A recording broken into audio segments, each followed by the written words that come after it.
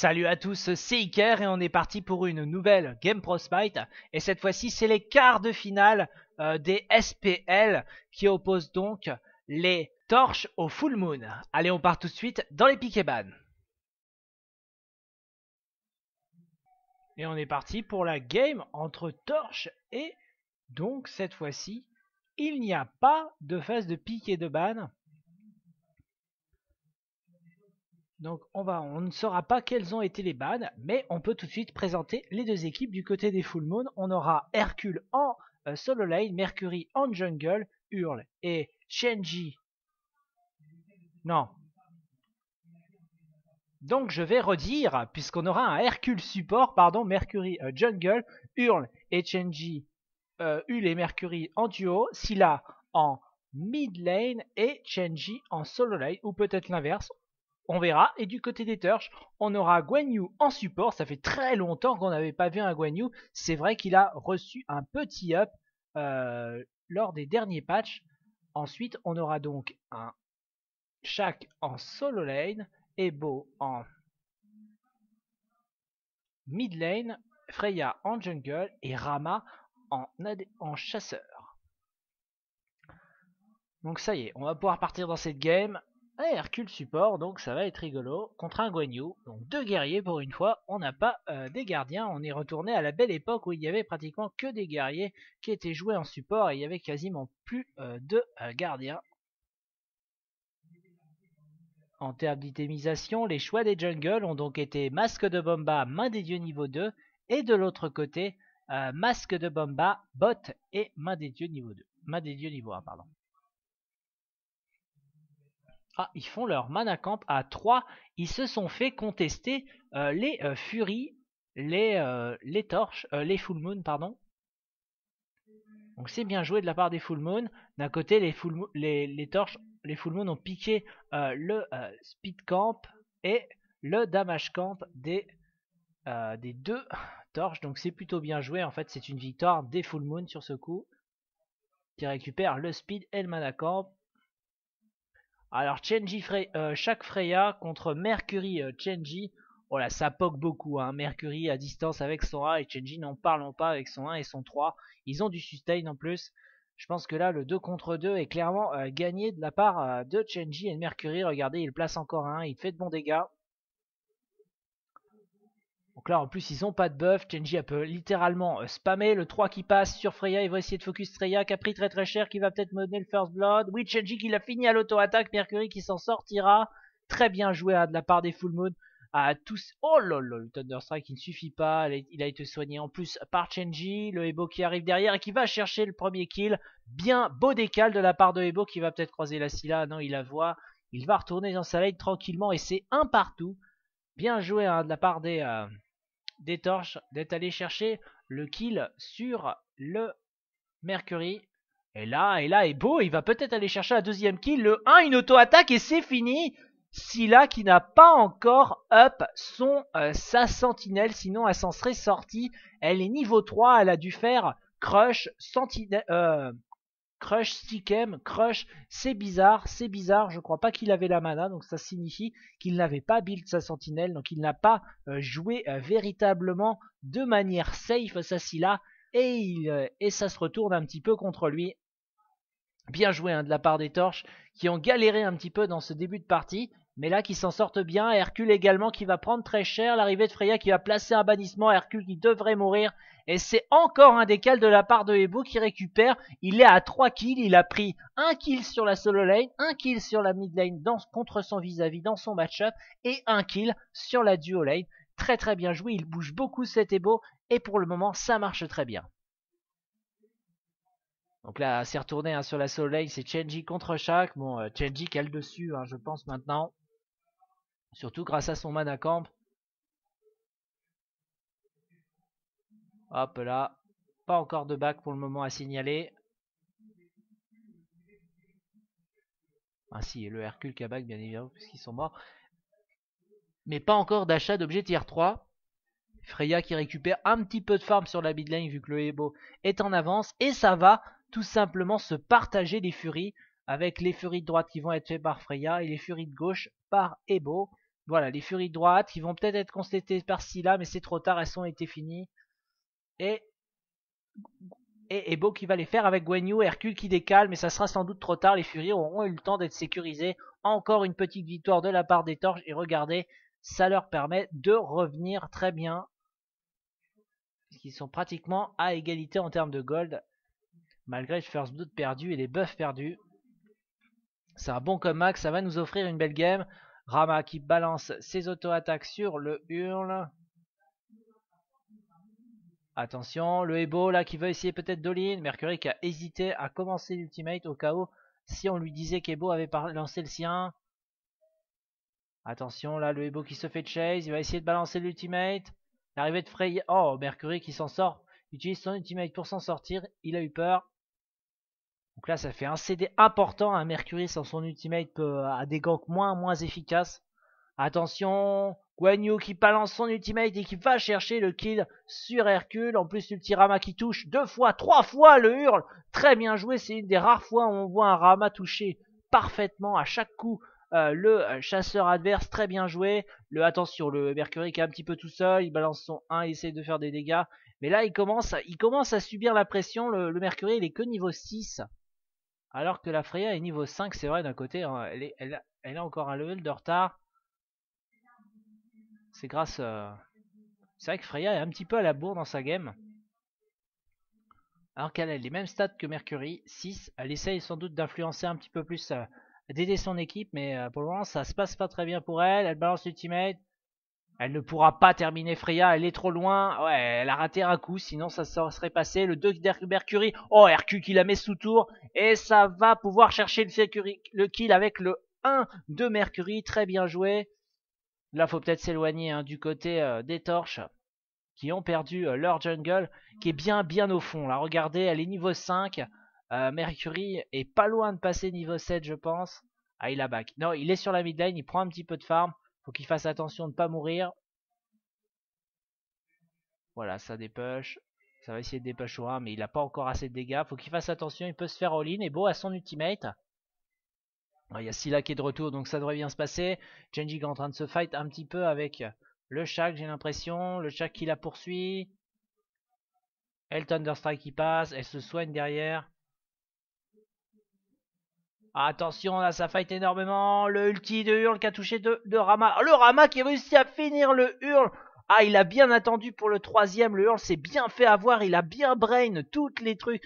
À chaque fois que Hurl partait dans une autre direction, il avait pensé qu'il allait faire ça. Très bien joué hein, de la part de Rama qui fait un véritable carnage avec son ultimate et qui va chercher un deuxième kill à l'ultimate. Très très bien joué hein, de la part de Rama. Le Rama des torches. Et on est à 3 à 5 pour les torches. Et regardez en termes de gold, ça reste très très équilibré. Euh, moins de 500 gold d'écart. Et là, les Furies qui sont sécurisées une nouvelle fois par les torches de, gauche et de droite. Et là, c'est des mini-victoires. Hein. C'est ça qui vous permet de creuser gars. Regardez. Attention, chaque qui essaye de all-in. Là, Chenji, mais ça ne passera pas. Elle, est faible en mana, faut qu'elle fasse attention au prochain Thunderstrike. Le Thunderstrike qui passe, mais ça ne suffit pas pour la tuer. Elle a le temps euh, de back. Elle ne sera pas morte. Le Mercury qui vient défendre la lane de Chenji. Du côté de Shaq, on va peut-être partir sur un Ancil en premier item. C'est un bon choix. Genji est parti également sur un contre pour sa phase de lane. Le plastron de valeur qui lui rajoute de l'armor pour tanker euh, les dégâts euh, de notre ami Shaq. Et elle peut également, elle a un temps de récupération sur ses sorts qui diminue de 25%. Donc elle peut un petit peu spam. Ce qui lui manque, c'est un petit peu de régène mana. Heureusement, elle a son mana camp. Elle, va pouvoir en profiter. Oh, le beau qui met euh, de bons dégâts sur la petite Scylla qui va aller récupérer le damage camp qui aurait été fait euh, de la part de Mercury, gentiment. En termes d'itémisation, on voit les ramas partent sur euh, Crève-Cœur, Gantelet du Dévoreur, c'est un classique, tout simplement pour augmenter leur AD, très utile pour leur ultimate. Du côté de chaque, on a fini le Hancil, il va pouvoir commencer à le stacker, je vous rappelle, c'est un item qui vous donne 60 de résistance magique, 15% de cooldown réduction une fois maxé, car c'est un objet à stack, et, également des euh, dégâts physiques. Donc c'est parfait sur un chat qui joue contre une Shenji en lane.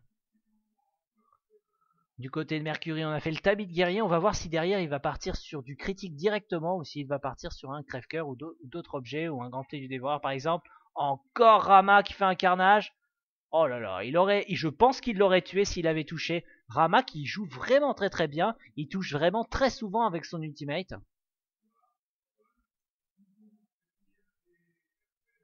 Attention, Shaq qui essaye de mettre la pression à la Chenji, mais la Chenji a son mana camp et elle tank relativement bien grâce à son plastron. Hercule qui rate complètement son ultimate, qui ne touchera personne. Et Mercury qui hésite à ultimate. Attention, il y a des sbires qui pensent autour. Tout simplement car les torches engagent la première Gold Fury de la game. Attention, le Sonic Boom, il peut peut-être toucher plusieurs adversaires. Oui, ça passe. Et ça stun deux adversaires. Attention, ils vont récupérer. Oui, c'est les Golf Torches qui ont récupéré quand même la Gold. Le Guanyu qui va peut-être mourir. Oh là là, c'est des doubles kills de la part de Ebo. C'est du 1 pour 2 pour le moment. Plus la Gold Fury en plus. C'est une belle victoire de la part des Torches. Bon, après, ils prennent encore un troisième kill derrière. Et là, ils sont partis pour essayer de focus le Hurl qui est tout seul et qui a un petit peu de retard de stuff vu qu'il est mort quand même pas mal de fois. Le saut pour pouvoir s'en sortir. Après, il est en mauvaise posture, là, le hurle. Il est dans le mauvais sens. Il va essayer d'aller suicider sous une tour, mais il y a le Rama qui débarque. Attention. Il va peut-être réussir à s'en tirer. Regardez, il repart dans l'autre sens et ils ne sont, sont mal organisés. Hurle qui va s'en sortir. Il est en train de téléporter peut-être. Non. Il prend son temps. Il n'a pas la vision. Il utilise son jump et il va pouvoir s'en sortir. Bien joué de la part de Hurle qui s'en. Oh, l'Ultirama L'Ultirama qui n'a pas touché cette fois le Hurl et ça ne prend pas le kill. Oh, le bannissement sur Mercury. Bon, qui s'éloigne avec son 3. Et Rama qui balance de bons dégâts sur le Hercule. L'ultimate d'Hercule, mais il ne, tient pas face à Rama. Il a failli mourir là. Faut qu'il fasse attention à son lip qui rajoute des dégâts. Le livre de Todd qui est fini sur la Scylla qui utilise sa sentinelle pour s'éloigner rapidement. Oh là là, c'est difficile. Hein. De la part des Full Moon, ils se font à dominer pour le moment. Et regardez hein, l'écart de gold qui s'est creusé. 3700 euh, gold d'avance maintenant pour les torches. Mercury qui prépare le Manacamp pour son hurle. du côté de Chenji et euh, de euh, chaque sa défense. Chaque qui essaye de mettre la pression à la Chenji dès, dès qu'elle est sous la tour, dès qu'elle quitte sa tour, pardon. Et le Ebo qui voudrait peut-être gank la Chenji. Chenji qui n'a pas énormément de vie. Elle est un petit peu plus de mid-life. Et elle s'est fait all-in par le 3 et l'ultimate de Ebo. Très bien joué. Un, kill, un bon kill pris. Le Ebo qui bouge énormément de ses lanes. Et pour le ça a un bon impact. Le Ebo, est-ce qu'il manque une petite auto? Une petite auto et il va la chercher. Très bien joué. L'arrivée de Scylla qui va essayer de Ultimate, il touche quand même et qui finit double kill de la part de Mercury. Très bien joué de la part de Mercury là, qui va sécuriser deux kills avec Scylla. Et ça euh, redonne un petit peu d'air au Full Moon qui euh, sont donc encore un petit peu derrière, mais ils font un 2 pour 1. Par contre, Freya est là pour défendre la lane, c'est bien. Belle intervention de Freya. Oh là là là là, la duo lane qui domine totalement de la part des torches. Ah, cette fois-ci, cette fois-ci, Hurl fait attention, il balance son print pendant l'ulti-rama, et il y aura seulement un ultimate de Rama qui aura touché. Et là, ça va mettre la pression, sans doute la tour qui va tomber pour les, euh, pour les torches. Ah, Freya qui est passé de la solo lane à la mid lane pour défendre. Donc elle défend toutes les lanes, c'est bien, hein, c'est ce qu'il faut faire quand on est en jungler, c'est venir cover les lanes de ses alliés. Mercury part directement sur un item critique, donc pas de pas d'objet. Donc on voit parfois ça. C'est vrai que pas partir sur de l'AD, mais partir directement, directement sur du critique.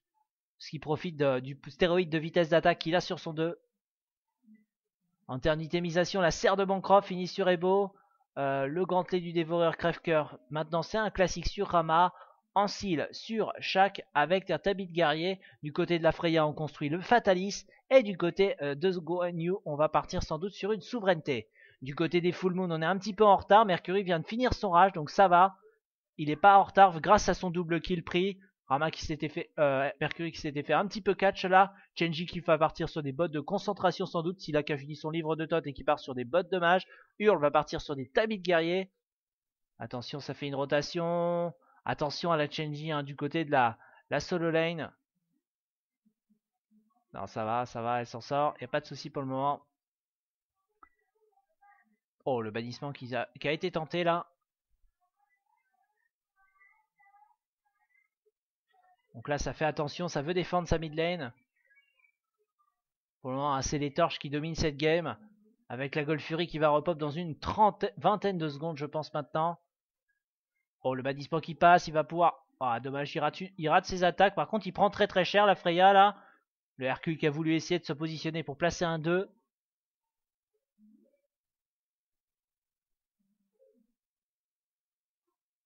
Attention, ça dépêche au crush.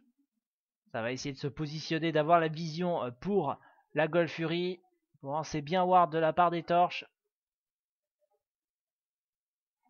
Ah, la Chenji hein, qui se fait dominer sur sa lane face à Shaq, j'ai l'impression. Shaq est tout le temps sous sa tour, il lui met la pression, il a force à...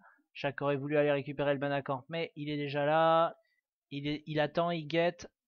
Ça lui permet d'avoir la vision. Si on veut le gang, ça lui met, il peut mettre la pression à Chenji. Regardez qui est à peu près mi-life, qui s'est soigné avec son 3. Hop, ça va push la mid lane. Et ils sont en train de faire la Gold Fury du côté des torches. Est-ce que ça va pouvoir sécuriser la deuxième Gold Fury? Je rappelle, ils ont réussi à voler in extremis la Gold Fury, ou la récupérer, je ne sais plus. Bref, le Hercule là qui va peut-être se faire focus. Oh, le Hercule, il a planté, c'est pas possible. Et l'Ultirama qui va essayer de toucher la Scylla deux fois, trois fois. Oh là là, regardez les dégâts quand vous êtes full AD. Ça fait énormément de dégâts. Moi, j'aimerais bien euh, qu'il qu'un Rama fasse un, un, fléau de titan derrière, juste derrière, après ces trois items-là, pour vraiment maximiser aussi la pénétration magique du sort. Le 3 qui passe, et le 1, et ça suffit pour aller chercher Scylla. Et là, et là, c'est, c'est, ça va avancer. Les Torch Gaming qui vont peut-être pouvoir sécuriser deux tours. La Chenji qui peut pas se déplacer, qui défend encore sa lane. Ah, ça va peut-être faire une rotation sur la solo lane pour aller essayer de dive la Chenji. La Chenji en très très mauvaise posture, elle le sait. Le bannissement qui passe, il se retourne derrière, ils savent qu'ils sont de chase. C'est très bien joué de la part des, torches qui vont aller pouvoir sécuriser un kill. Et oui, il faut faire attention à ça quand on veut aller essayer d'aider un allié. Parfois ça se retourne contre vous. Très bien joué hein, de la part des torches qui sont retournés contre les Full Moon qui voulaient aller défendre leur Chenji. Chenji elle a tranquillement back, elle sait que la Satour est morte. Et c'est la dernière T1 des Full Moon qui tombe. Et là, regardez le snowball, regardez le snowball, on est pratiquement à 7000 gold d'écart en 16 minutes.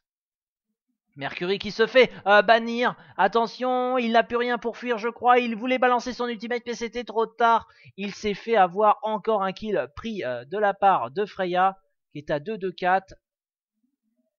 Ebo est à 8-1-2. Hein. C'est vraiment lui qui carry son équipe. Il intervient sur toutes les lanes. Il donne l'avantage à ses coéquipiers c'est bien. C'est vraiment, il joue vraiment très très bien cet Ebo.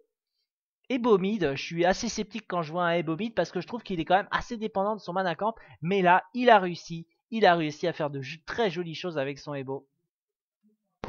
Avec une purification en actif seulement pour le moment. Est-ce qu'il partira sur un flash derrière ou est-ce qu'il partira sur une égide? On verra. La Chinji qui essaye d'infliger des dégâts, mais le Shaq qui commence vraiment très bien à tanker les dégâts magiques. Enfin, qui commence qu'il est tank déjà depuis, depuis qu'il a son ancien, on va dire. Et là, c'est plus difficile hein, pour les Full Moon pour aller ward quand vous avez perdu toutes vos T1. Et regardez en termes de stuff, hein, maintenant il y a de l'avance. Hein. Regardez l'avance qu'a Ebo. Il a sa serre de Bancroft, ses bottes de mage, l'éclat d'obsidienne. Il va essayer d'aller all-in peut-être. Non, le 2 placé de Chenji qui évite les dégâts du Thunderstrike. La Freya qui va sans doute partir sur eux, un Demonic Grip. Le, du côté de Rama, on va partir sur un tamis de guerrier maintenant et une souveraineté construite sur le Guan Yu avec une volonté, euh, une agilité céleste pardon, en actif du côté de Guan Yu pour améliorer sa vitesse de déplacement. le 2 Chenji et là, et là Shaolin, ça, enfin Shaolin, ça va essayer de récupérer le Fire Giant. Attention, hein, les Full Moon peuvent peut-être revenir. Très très belle ulti, linké par l'ulti Chenji derrière. Ça fait de bons dégâts. Est-ce qu'ils vont s'en sortir? Oh là là, double kill de la part de Ebo. Ils vont réussir à aller chercher un kill. Euh, non, oui, ils ont réussi à tuer Ebo.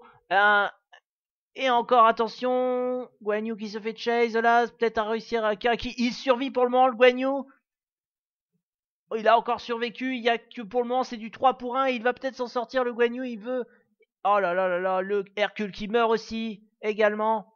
Et le Fire Giant qui a été reset. Attention, le ram, le hurle qui se fait tuer, c'est un déicide de la part des torches, très bien joué. Ils s'en sont très très bien sortis. Pourtant, il y avait eu un très très bel ultimate de la part de Mercury, mais il y avait personne d'autre avec lui pour affliger de gros gros dégâts, malheureusement. Et ça permet aux torches de faire un déicide et de s'envoler au goal. Regardez, on va bientôt dépasser les 10 000 gold d'écart en 18 minutes. Et je le rappelle, c'est énorme. Oh, à ce moment-là de la game, 10 000 gold d'écart c'est quasiment irrattrapable, sauf si vous avez euh, des déconnexions ou si vous faites n'importe quoi. Mais généralement, vous, évitez.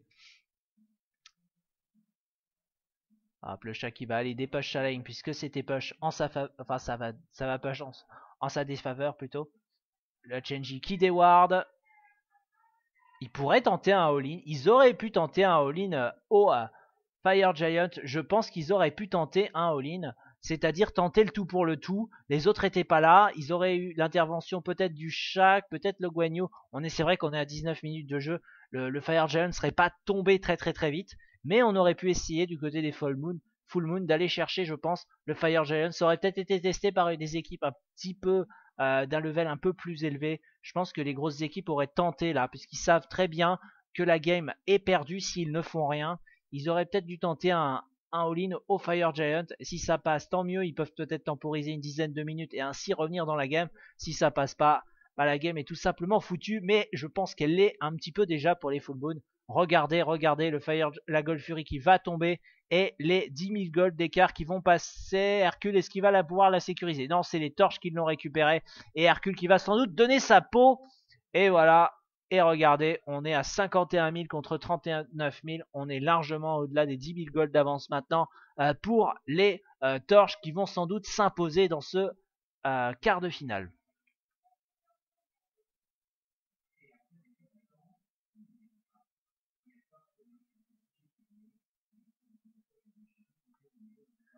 Là, ils vont faire la Gold Fury. Il n'y a pas d'Hercule pour la récupérer. C'était tout simplement un bait. Guanyu va pouvoir balancer son ultimate. Ils sont séparés là, les Full Moon. Scylla qui se fait focus. Scylla qui meurt. Et derrière, c'est le Mercury qui va sans doute mourir. Et c'est un double kill de la part de Chak. Freya qui s'en sort également. Double kill de la part de Ebo. Ah, il reste plus qu'Hercule qui vient juste de repop. Et ça va pouvoir peut-être prendre le Fire Giant, attention, Hercule qui va essayer d'arriver. Il est niveau 10 contre des niveaux 17. Il va le sentir passer. Et le, Fire Giant qui tombe pour les torches. ils vont le chase, ils vont le chase. Non, c'est bon, ils vont back, ils vont aller acheter des items. Ils ont récupéré quand même une Gold Fury et un Fire Giant. Ça fait des golds tout ça.